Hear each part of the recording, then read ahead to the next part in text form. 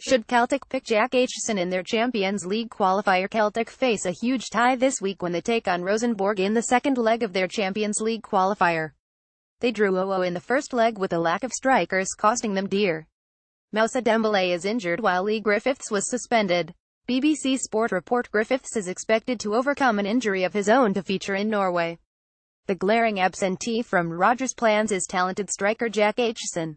Aitchison scored on his debut for Celtic at just 16 and scored, but has struggled for opportunities since. The 17-year-old has scored prolifically at youth level for Celtic and this tie would be an opportunity for him to sink or swim. Two seasons ago Manchester United were in a similar predicament. Without five of their first-choice options, they turned to unheard-of talent Marcus Rashford for a do-or-die Europa League match.